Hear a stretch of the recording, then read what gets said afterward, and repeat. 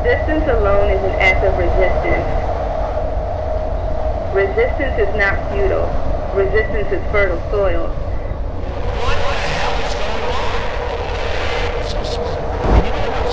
It is where our fallen brothers and sisters rise from the treads of our shoes, the tattoos covering our bodies, and the spirits we pour out in memory, to spring forth from our mouths eloquent and wild.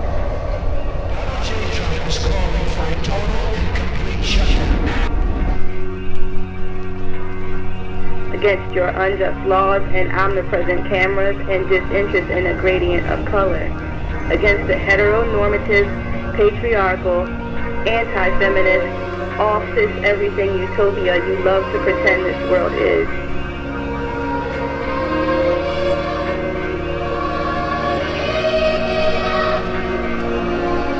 This is war to its extermination. Light cell by cell through bodies and mind streams of the earth. Souls rotten from the orgasm drug, flesh shuddering from the ovens. Prisoners of the earth, come out.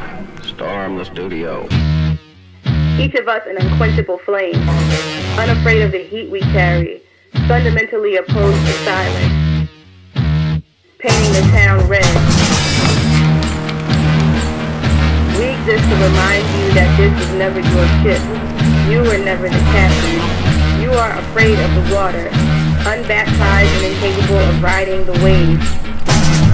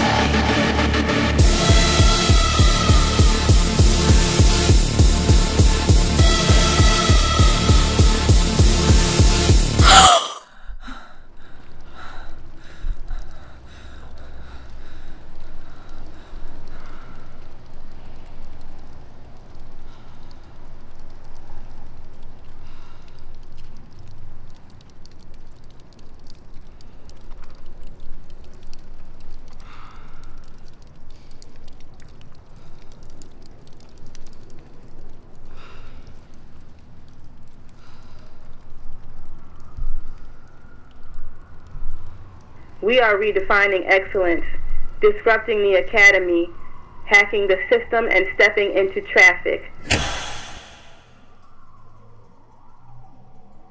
Our hands and placards held high, just to remind you that we are always here, everywhere, and where one or more are gathered, there is always fire.